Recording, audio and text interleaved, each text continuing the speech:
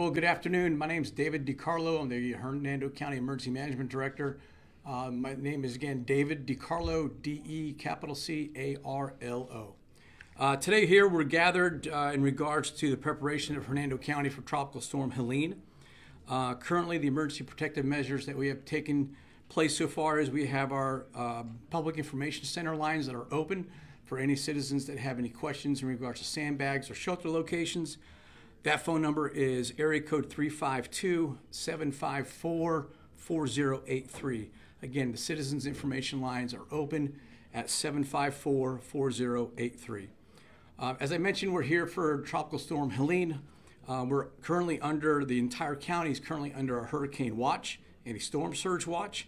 Uh, the storm surge is supposed to enter, I'm sorry, the, sur- the tropical storm Helene is supposed to be entering the Gulf of Mexico either later th- this evening or early morning. Uh, once it enters in the Gulf of Mexico, rapid intensification and moving north is expected. Um, we should be expecting storm surge anywhere between six and 10 feet. Because of those, uh, those predicted measures uh, that, that are, are expected, we've taken the following actions. We're having a mandatory evacuation order that it's going to be in effect beginning Wednesday, as tomorrow, Wednesday, September 25th at 8 a.m. Uh, we'll continue to monitor the storm. However, the mandatory evacuation has been issued for the areas west of US 19, which includes evacuation zones A, B, and C in Hernando County. A, B, and C in Hernando County. If you don't know where you live, please call our Citizens Information Line and they'll help you find out what your evacuation zones are. It's also for all residents living in coastal and low lying areas, as well as manufactured homes um, that are included countywide. Residents are advised to seek shelter with family or friends. And please remember, even though the public shelters are open, they are a lifeboat, not a love boat. They should be your last resort. So if you can find refuge with a family or friend or other location, uh, please do so. But however, we will have public shelters open um, for your safety and well being. With that being said, the shelter is going to be at West Hernando Middle School. Again, we'll have a public shelter open at West Hernando Middle School beginning tomorrow, Wednesday, September 25th at 8 a.m. That location is at 14325 Ken Austin Parkway in Brooksville. 14325 Ken Austin Parkway in Brooksville.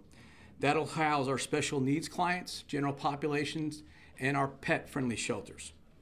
Again, if you need uh, sheltering assistance and have a pet, please call our citizens information lines. We can arrange transportation for special needs and pets. If you do bring your pet to a shelter, please bring all the necessary ancillary equipment, food, crates, leash, and stuff to that nature for your pet. You'll be responsible for all that stuff to take care of your own pet, please. Um, also, we have sandbags or other emergency protective measures. We have sandbags that are available at Linda Pedersen Park, Anderson Snow Park, Ridge Manor Community Center, and Spring Lake Methodist Church. Those are open today from, they opened up at 8 a.m. this morning. They'll be open till 5 p.m. this afternoon, both today and tomorrow, from 8 a.m. to 5 p.m. Uh, they'll be open Wednesday uh, as long as the, uh, the weather permits, they'll stay open. Um, again, we'll be watching the storm and we'll be giving out periodic uh, updates throughout uh, the duration of this storm. Uh, we want people to, to, understand to take this storm seriously. Six to ten feet of storm surge is nothing to uh, is nothing to, to, to, squawk about. Please take this seriously. Uh, if you have any information or have any questions, please contact our Citizen Information Line. Again, 352 754 4083. I'll open up for any questions. Yeah, I was just gonna, as we discussed before, uh, you started the, the news conference here, um, what kind of concerns do you have, given how much rain we've had over the last month, when you compare, like, last year to Idalia, what we saw then, how much flooding we had even then? Right, we, we're, we're above average on rainfall up to this point from last year, so obviously it's a concern, the, the ground is saturated, so any extra rain uh, along with storm surge plus the amount of rain that we're expected to get uh, is very concerning. So we want to make sure that citizens take this seriously. And, on that note, you know, I think we, we talk about this every year how um, there comes a time when if people decide to stay, there's you're not gonna be able to get to them. there's going to be a point of no return. Right. Um, when when the tropical storm force winds uh, arrive in the county, uh, emergency services will stop. Um, so if you haven't evacuated, uh, there will be a point in time where we have probably have massive power outages. Um, we won't be able to respond to you in the middle of the night. Um, landfall is expected anywhere between 2 p.m. and 8 p.m. on on Thursday.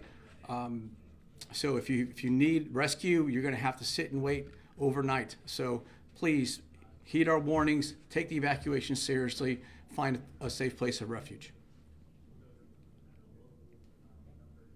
Okay, no other questions. We appreciate it. Uh, stay tuned uh, to our Facebook page, uh, and we'll be pushing out information um, as we get it from the National Weather Service and through the National Hurricane Center. Thank you very much.